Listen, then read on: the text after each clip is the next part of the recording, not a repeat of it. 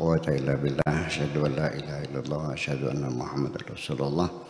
Allahumma salli ala sayyidina Muhammadin wa ala alihi wa sahabati ajma'in. Ma ba'd. Uh, pertama-tama saya sampaikan salam hormat saya yang setinggi-tingginya kepada pimpinan PT Gita. Huh? Apa? Gita. Gita. Gita. Gita namanya PT Gita uh, beserta seluruh stafnya. Uh, kemudian uh, ya PT Zoitis Zoitis, Zoitis bukan Zoitis. Iya, yaitu perusahaan yang memproduksi vaksin untuk peternakan untuk binatang. Jadi hari ini temanya seputar masalah the sense of belonging, etos kerja dan rasa bersyukur. Uh, pertama masalah kepemilikan. Ini masalahnya ketika kita merasa memiliki ada konsekuensinya ketika kita tidak merasa memiliki juga ada konsekuensinya. Di sini ingin saya urai secara ringkas bahwa kepemilikan itu sejak kapan manusia memiliki sesuatu. Nggak usah masalah pribadi, tanah negara pun yang membuat batas antara Libya dan Mesir itu siapa? Kan pakai penggaris dan potlot. Iya, yang membuat ini negara ini negara ini dan sebagainya eh, tanah kita Indonesia Sabang Merauke punya negara Indonesia dimanfaatkan semaksimal mungkin untuk meningkatkan kesejahteraan bangsa Indonesia. Kita bertanya punya tanah segitu luas Sabang Merauke beli dari siapa? Itu juga punya masalah. Ya kan begitu? Dulu dulu nenek moyang saya itu sebelum ada badan pertanahan sebelum negara ya asal ambil patok-patok saja punya gue punya gue punya gue kan seperti prosesnya jadi sejak kapan kita mempunyai surat resmi hak kepemilikan atas sesuatu? Itu kan proses politik sesungguhnya. Iya kan? Ya proses politik. Siapa yang menentukan? Yang berkuasa. Siapa yang berkuasa yang menang. Yang kalah yang nggak bisa berbuat apa-apa. Itu adalah dasar kepemilikan. Jadi kalau kita lihat dari awal mu, awal muasalnya memang harus kita akui bahwa apa pun yang ada di dunia ini adalah milik Tuhan jadi kepemilikan kita sifatnya hanya kepemilikan sementara namanya hak guna pakai sementara kita punya bukti logis bahwa apa pun yang kita miliki di dunia ini, rumah, mobil, tanah, itu semuanya hanyalah hak guna pakai. Buktinya mana? Kapan-kapan semuanya pasti kita tinggalkan. Kalau sesuatu yang kita kumpulkan, di akhirnya harus kita tinggalkan. Berarti kepemilikan kita abadi atau sementara. Sementara itu betul kita sadari. Tetapi juga kepemilikan perlu kita punya rasa memiliki karena dengan punya rasa memiliki pasti kita akan terdorong untuk merawat. Betul nggak? Pak Afkar punya mobil dan merasa dapat membeli dengan uang Anda dari gaji yang Anda kumpulkan sekian tahun lamanya. Ya kan? Dan bisa Anda pakai untuk memenuhi kebutuhan-kebutuhan transportasi sebagainya. Dengan rasa memiliki itu pasti anda akan segera memperbaiki ketika mobil itu ada kerusakan. Betul nggak? Bodinya nyerempet, ya dicat lagi. Businya rusak, perbaiki lagi. Anda akan terdorong untuk merawat. Nah, mungkin poin ini yang akan kita bahas bersama. Artinya apa pun yang kita miliki itu diperlukan ada the sense of belonging supaya kita merawatnya. Termasuk juga guru-guru yang ada di pesantren cadang ini itu juga jangan logikanya berpikir saya hanya menjual tenaga setelah setelah selesai mengajar ya tugas saya selesai. Nanti pondok pesantren ini maju atau bangkrut bukan urusan saya. Itu kan akibat karena tidak punya rasa memiliki. Anda bekerja di sini dapat gaji dari sini. Nah kalau pondoknya bubar Anda kan, kan kehilangan sumber rezeki. Nah itulah makanya anak-anak kita juga seperti itu yang belajar di sini. Ya, mereka menikmati pendidikan yang kita selenggarakan. Jadi ya kamar tidurnya, sekolahnya, ya jangan dirusak dong. Meja kursinya jangan dicoret-coret. Ya, kalau buka pintu jangan ditajong dengan kaki, kan rusak jadinya. Ya, itu anak-anak ya gitu. Jadi kita harus menanamkan rasa memiliki itu sejak dini bagaimanapun juga akan merawatnya. Perusahaan yang tempat kita bekerja itu jangan sebatas kita menjual tenaga, jual keringat, mendapat upah. Mau maju silakan, bubar juga silakan. Itu kan karena tidak rasa punya rasa memiliki ini sangat penting sekali. Istri juga sama, anak juga sama, perlu dirawat ya supaya awet sepanjang umurnya kan gitu semaksimal mungkin. Kan hebat kalau Anda punya mobil sampai 20 tahun masih bisa pakai.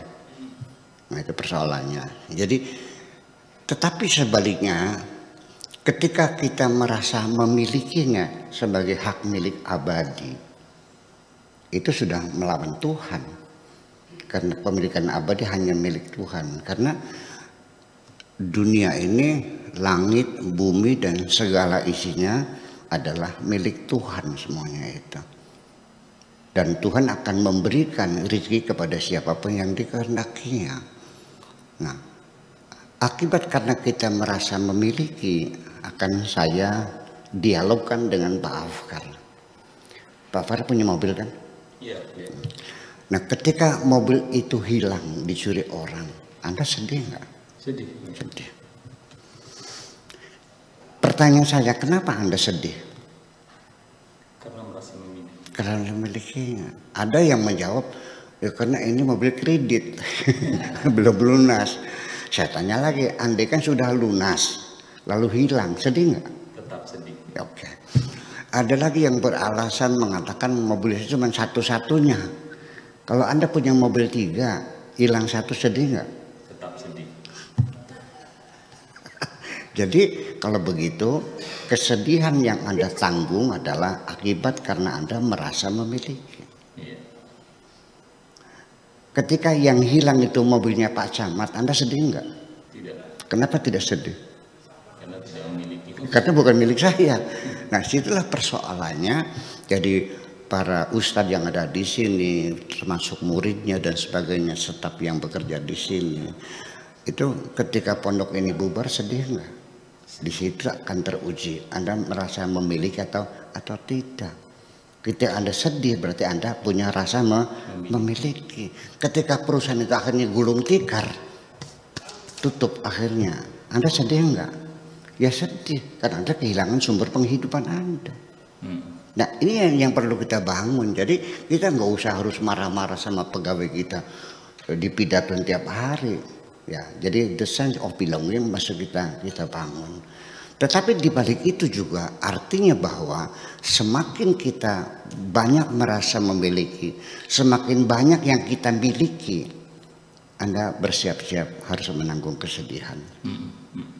Jadi akhirnya nanti secara filosofis tasawufnya bahwa ternyata yang paling berbahagia di dunia adalah orang yang tidak punya apa-apa.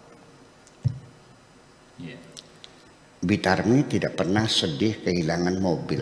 Sebenarnya nggak punya mobil. Nggak punya mobil. Dia tidak sedih punya suami meninggal dunia. Kenapa? Tidak punya suami. Dia tidak sedih uh, dengan anak yang hilang. Sebabnya apa? Tidak punya, punya anak. Berarti berbahagialah orang yang tidak punya apa-apa. Itu adalah masalah spiritual kita supaya hidup kita nyaman memang seperti itu. Jadi semuanya ini kita yakin sebagai hak milik, hak pakai sementara fasilitas. Nah, filsafat agamanya bahwa Allah Subhanahu wa taala Tuhan kita semuanya bahwa langit, bumi dan seisinya itu sengaja diciptakan oleh Tuhan untuk fasilitas kita. Lillahi mafis samawati wa mafil ardi. Ya semuanya milik Tuhan tapi wa khalaqalakum mafis samawati wa mafil ardi. Tuhan menciptakan langit bumi dan sini adalah buat kamu semuanya itu. Jadi kalau buat kamu semuanya berarti logika kita akan mengatakan bahwa di dunia ini apa saja boleh, nggak ada yang tidak boleh dong. Untuk kita berarti boleh, itu persoalannya. Jadi tetapi ada beberapa pengecualian yang ini tidak boleh, yang ini tidak boleh, yang disebut dengan bahasa agamanya itu dengan bahasa haram. Tapi haram itu sendiri maknanya adalah kemuliaan, bukan larangan. Jadi Masjidil Haram itu bukan masjid haram, masjid tidak boleh, tapi masjid yang mulia. Jadi ketika Tuhan melarang kita memiliki sesuatu, mengkonsumsi sesuatu, ya kan begitu. Itu bukan membatasi kebebasan kita, bukan membebani kita. Tapi secara protokoler karena Anda makhluk terhormat, maka diatur ada hal-hal yang tidak boleh dalam rangka menghormati Anda sebagai makhluk yang yang terhormat. Itu. Nah, kemudian ketika kita berbicara kepemilikan seperti itu. Kemudian dalam hal perawatan, dalam hal mencari rizki, dalam hal memenuhi kebutuhan kita, bagaimanapun secara kodrati bahwa manusia itu harus bekerja keras. Iya kan? Kita ini untuk mendapatkan sesuap nasi saja, sepiring nasi saja, itu melibatkan berjuta-juta manusia. Bukan kerja Anda sendiri nasi yang ada di depan kita ini kan berasnya kan dari gabah. Yang memproses jadi gabah kan petani. Berapa banyak petani yang menanam padi. Yang ngasih pupuknya, yang ngoyosnya, yang memanennya, yang menggilingnya, yang menjualnya. Itu tak terhingga. Piring yang Anda pakai juga itu ada pasir kuarsa yang menambang berapa orang yang memproses di pabrik piringnya berapa orang, pedagangnya berapa orang, melibatkan. Jadi untuk makan sepiring nasi saja kita melibatkan banyak orang dan tidak bisa sendirian. Itu namanya interdependensi manusia bahwa manusia tidak bisa berdiri sendiri untuk memenuhi kebutuhan. Mesti kita membutuhkan pertolongan, bantuan, kerjasama dengan semua pihak yang tak terhingga itu. Secara kodrati manusia untuk memenuhi kebutuhannya itu harus bekerja keras. Itulah bahwa etos kerja itu bukan sesuatu yang harus kita pelajari, tapi muncul dari diri kita sendiri semangat kerja.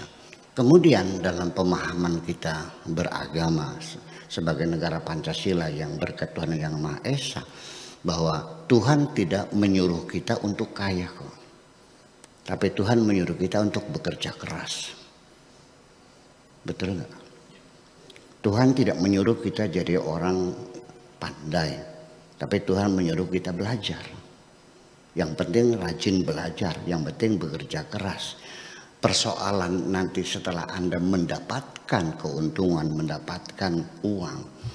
Itu jangan dikaitkan ini akibat kerja keras saya karena antara kerja keras dengan rizki yang Anda dapatkan tidak ada kaitannya secara logika. Tidak masuk dalam hukum kausalita. Buktinya mana? Buktinya terlalu banyak orang yang bekerja keras di sekitar kita. Tukang nyekop pasir dan berkeringat-keringat. Kaya enggak? Iya kan?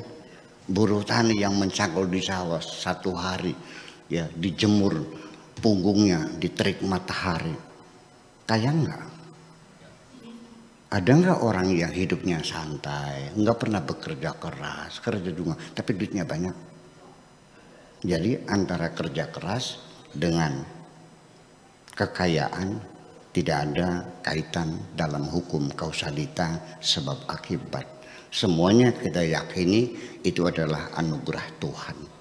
Dan rezeki yang kita dapatkan adalah diberi oleh oleh Tuhan. Tuhan kita hanya menyuruh kita bekerja keras. Persoalan Anda kaya atau tidak kaya, Tuhan tidak akan menuntut Anda di kemudian hari.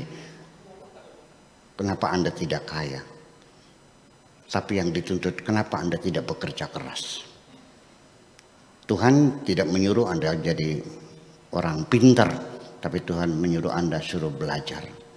Buktikan yang rajin belajarnya, kalau tidak pinter-pinter juga selesai masalahnya tidak akan dituntut.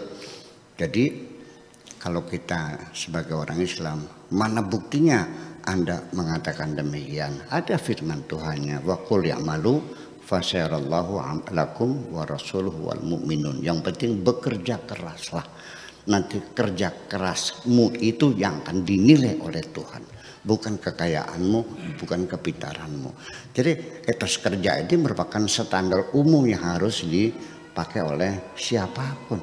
Apakah sebagai guru di pesantren, apakah sebagai eh, pekerja di PT Joitis dan sebagainya. Itu artinya sudah tidak perlu dituntut oleh manajer untuk untuk uh, meningkatkan etos kerja, tapi itu adalah merupakan dorongan dari diri kita sendiri.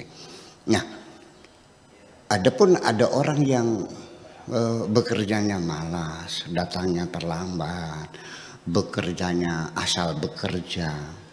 Ini juga perlu kita ketahui bahwa bukan semata-mata kita bekerja keras, tapi uh, setiap saat kita dituntut untuk meningkatkan kualitas kerja dan peningkatan produksi dan produktivitas setiap saat. Jadi kita mempunyai eh, gambaran bahwa perusahaan itu harus maju dan terus maju. Produktif dan terus semakin meningkat produktivitasnya.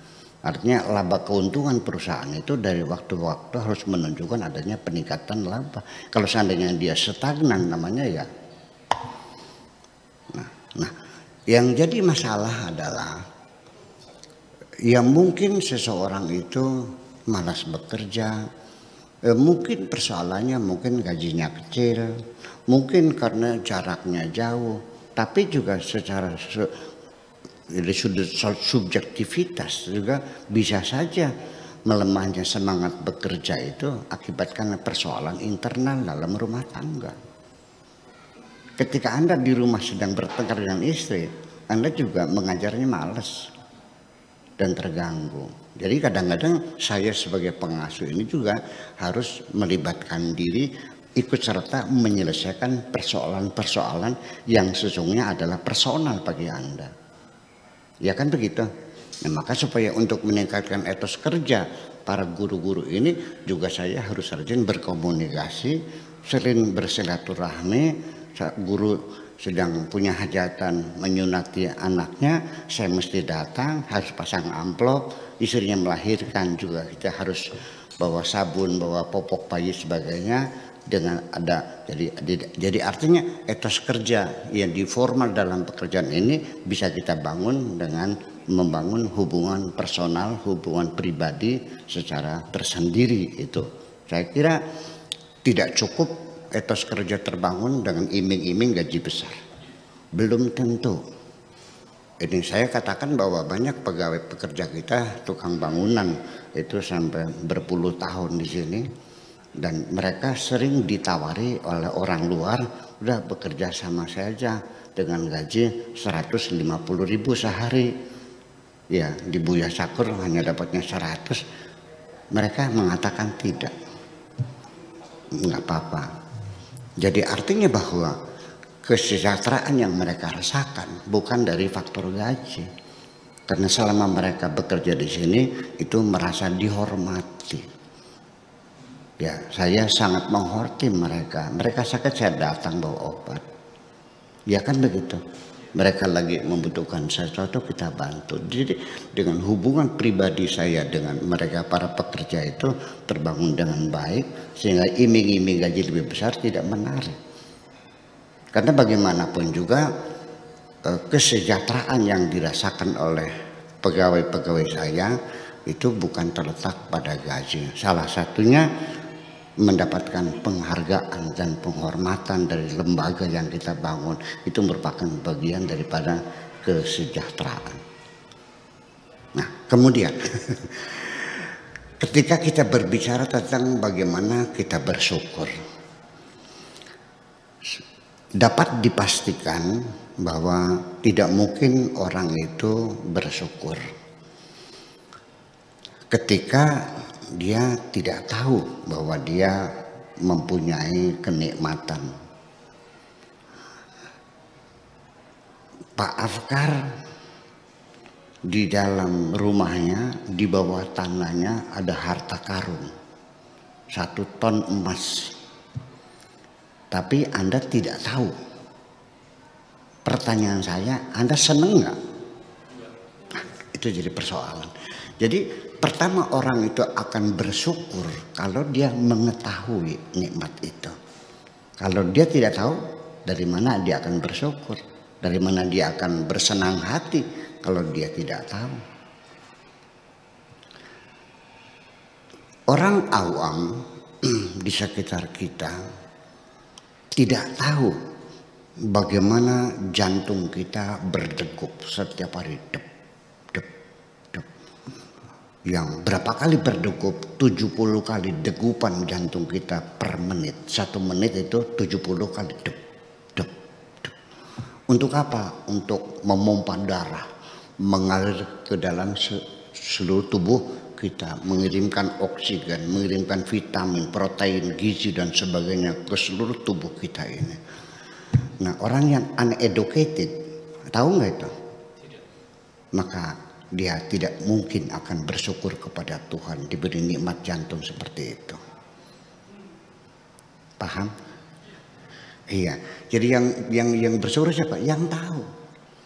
Nah, oleh karena itu makanya kita sering berkomunikasi juga menjelaskan kepada bawahan kita betapa kita punya kenikmatan punya pondok pesantren cadang bingan yang megah seperti ini ya kan gitu? Dengan fasilitas airnya listriknya segala macamnya.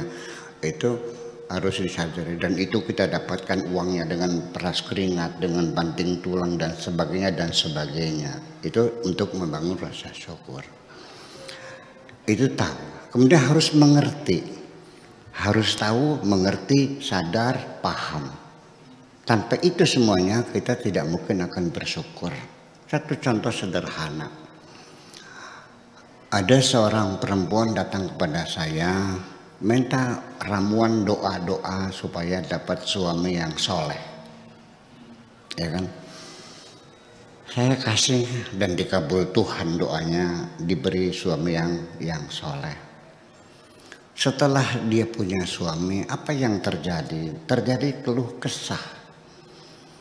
Melihat suami tetangga jam 4 sudah pergi ke pasar melihat suami tetangga di belakang jam 2 malam sudah pergi ke sawah. Suaminya dia masih di atas sejadah. Gila loh, gila loh, gila loh. ya Allah, ya kan. Ada orang memberikan sesuatu, ditanya uang ini dari mana asalnya. Bayangkan, tinggal ambil aja kok nanya segala gitu. Ya, setelah meninggal dunia dia baru tahu, baru sadar bahwa suamiku orang soleh. Ya, menyesal di belakang setelah kehilangan karena dia tidak menyadarinya, karena dia tidak mengerti. Ini ya persyaratan orang bersyukur juga memerlukan intelektualitas yang tinggi, pemahaman, pengertian, kesadaran akan nikmat ini betapa pentingnya seorang buruh, seorang pekerja di pabrik mana pun, di perusahaan apa pun untuk menyadari, untuk merasakan, untuk mengerti bahwa keberadaanmu di sini adalah mendapat anugerah dari Allah. Anda bisa ngasih makan anak istri Anda. Ya kan begitu. Seperti itu. Jadi artinya bahwa pengetahuan tentang kenikmatan ini ya juga diperlukan ilmu pengetahuan. Seorang fisikawan akan mengatakan berapa miliar ya ledakan-ledakan nuklir yang ada di matahari itu dan berapa besarnya matahari memberikan kehangatan ya ya pepohonan melalui daun-daunnya itu memasak ya kan makanan-makanan dan sebagainya bagaimana matahari pentingnya kalau orang tidak belajar kosmologi paham nggak mensyukuri Tuhan enggak? Ya tidak. Dan itu adalah hal yang perlu kita ketahui. Kemudian bersyukur juga itu dipersyaratkan harus diungkapkan berbentuk penghargaan yaitu ungkapan ucapan terima kasih. Nah, beda dalam terminologi bahasa Arab ketika kita mengucapkan terima kasih atau kita mengatakan thank you very much atau mengatakan dalam bahasa Prancisnya merci beaucoup ya itu atau terima kasih atau kesuwun itu namanya tasyakur. Mengungkapkan rasa syukurnya bilang terima kasih. Kalau kita tidak mampu berterima kasih kepada sesama bagaimana kita bisa berterima kasih kepada Tuhan? Man lam yaskurin lam yaskurillah. Kalau kita tidak bersyukur kepada sesama saja kita tidak menghargai kebaikan-kebaikan sesama. Bagaimana engkau bisa menghargai kebaikan-kebaikan Tuhan? Itu yang jadi persoalan. Dan kesalahan terminologi ketika orang hajatan. Tasyakuran. Sebetulnya ya acara itu bukan tasyakuran tapi syukuran kepada Tuhan Artinya dari lubuk hati yang paling dalam kita mengakui pemberian-pemberian Tuhan. Kalau mengucapkannya namanya tasyakur. Itu juga perlu dibenahi. Jadi maksud saya nanti yang paling penting dalam bersyukur itu adalah pengakuan bahwa ini adalah pemberian Tuhan. Itu yang jadi persoalan bahwa di dalam Al-Quran dikatakan sangat sedikit sekali orang yang bersyukur. Min syakur. Kebanyakan tidak bersyukur. Kenapa? Nah, di situ persoalannya adalah kembali kepada pengakuan. Nah, jadi artinya seorang pegawai pekerja di suatu perusahaan itu harus dengan tulus muncul dalam dirinya mengakui bahwa perusahaan ini telah banyak berbuat baik kepada saya ya yang memang sebagai imbalan dari keringat saya. Tapi walau bagaimanapun saya mendapat rezeki adalah dari perusahaan ini. Ya kita syukuri ya pimpinannya para manajernya kita hormati ya. Bukan ditakuti ya, dihormati. Saya tidak minta ditakuti, minta dihormati, dimuliakan gitu. Selagi perintahnya masih menyangkut ke, ke kedinasan, ya kita mesti harus mentaatinya. Ada kepatutan kita kepada pimpinan itu. Dalam Al-Quran namanya wa udil amri minkum ya pimpinan-pimpinan kita harus kita tak, takut harus kita taati semuanya itu. Tetapi ada anggapan orang dan ini umum ketika kita tidak mengakui kebaikan Tuhan itu disebut kufur atau kafir. Tetapi kekafirannya itu sebatas hanya mengingkari kenikmatan namanya kufur nikmat. Saya bilang kenapa Anda menganggap kecil ketika kita tidak mengakui kebaikan orang? Itu adalah kriminal besar. Iya. Ya kriminal besar, kejahatan besar. Orangnya namanya notorious ya. Penjahat besar itu notorious. Artinya perbuatan yang sangat-sangat luar biasa. Karena di Al-Quran sendiri bahwa orang yang tidak mengakui, tidak bersyukur kepada Tuhan itu akan dihukum dengan keras juga wala in kafartum inna adzabi. Jadi begini. Kita waktu kecil mungkin sering mencuri uang ibu. Ya kan gitu. Sering kita bolos sekolah. Sering kita melakukan hal-hal yang tidak senonoh. Ujung-ujungnya kita dijewer, dicubit ya atau dimarahi. Selesai. Jadi dosa-dosa yang kita lakukan selama hidup ini akan sangat mudah sekali mendapatkan ampunan dari dari Tuhan. Innallaha ghafurur rahim. Innallaha yaghfiru dzunuba jami'a. Allah akan mengampuni semua dosa-dosa kita asal kita meminta ampun. Orang tua kita juga kita banyak kesalahan. Ampun mama. Ya, tidak lagi-lagi dia minta maaf selesai kok. Akan tetapi ketika seorang anak itu tidak mengakui kebaikan orang tua, ketika dia sudah jadi pengusaha besar, sudah menjadi miliarder, ketika diwawancarai oleh wartawan tentang cerita awalnya bagaimana Anda menjadi konglomerat. Apakah ini harta warisan? Apakah ini pemberian orang tua? Dia mengatakan saya bekerja keras dengan keringat saya.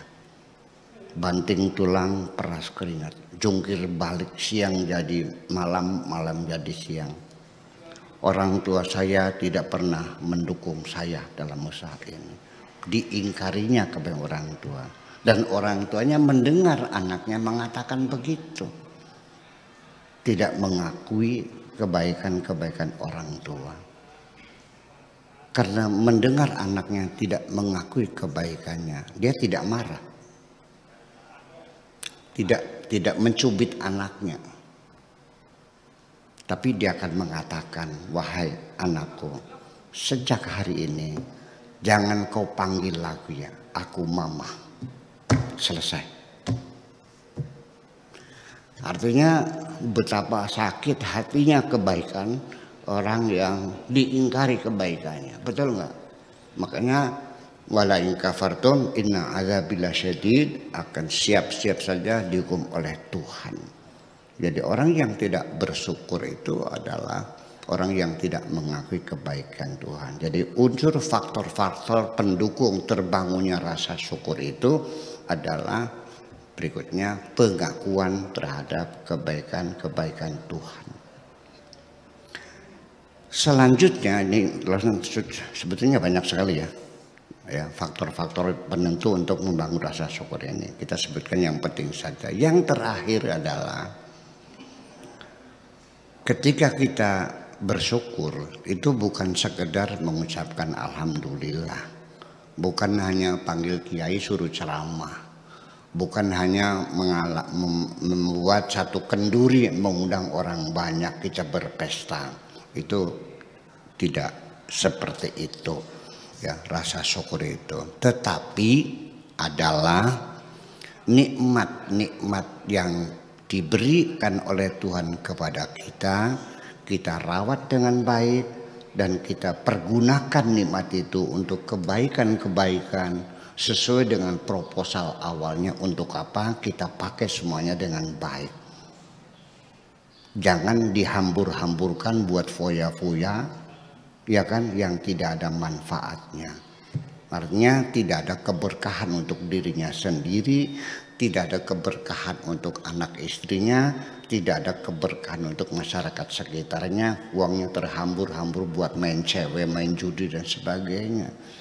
Jadi artinya faktor penentu dalam bersyukur terakhir adalah kita memanfaatkan segala nikmat untuk kebaikan-kebaikan. Tanpa itu maka eh, sulit kita untuk bersyukur. Kita kasih contoh sederhana saja supaya bisa dimengerti oleh orang ya orang awam. Ketika saya memberikan hadiah bahan dari sutra yang kita beli dari Trusmi 8 juta. Ya, ku hadiahkan kepada kekasihku dengan harapan mudah-mudahan ya aku ingin menatapi kecantikanmu ya dengan menggunakan kain sutra ini. Kita kirimkan. Dua minggu kemudian saya datang untuk mengecek bajunya seperti apa yang dia jahit itu. Ternyata ketika saya datang ke rumahnya, bahan sutra yang saya kirimkan ternyata dipakai buat keset. Keset apa namanya keset? untuk membersihkan kaki ketika masuk ke rumah itu. Ternyata buat keset. Ya Allah, sakit hati saya. Ya. Ternyata pemberianku dihinakan seperti itu. Bukan dijahit dan dipakai, tapi buat keset di depan rumah. Saya sudah tidak marah lagi. Hanya mengatakan sejak hari ini putus cinta kita forever. Terima kasih. Assalamualaikum warahmatullahi wabarakatuh. Waalaikumsalam warahmatullahi wabarakatuh.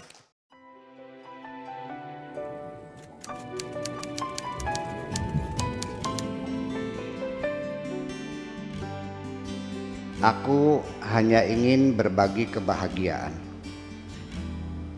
dan tidak menggurui siapa pun. Terlalu sulit bagiku untuk menyalahkan siapa pun. Akan tetapi, apabila ada orang yang ingin mengisi raporku, tentu aku sangat gembira sekali. Dan kujamin aku tidak akan sakit hati sedikit.